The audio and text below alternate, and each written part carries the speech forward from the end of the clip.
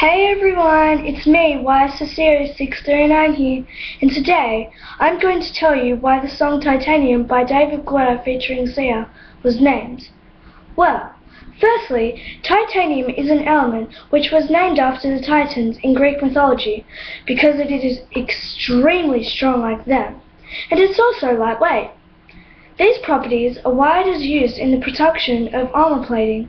This armor is extremely strong and is very protective. This is why Sia says, You shoot me down but I won't fall. It is because she is titanium, or at least wearing titanium armor.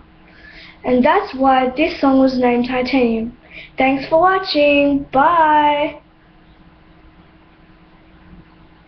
Why are you still watching? Don't you have anything better to do? Go do something else. Go. Go.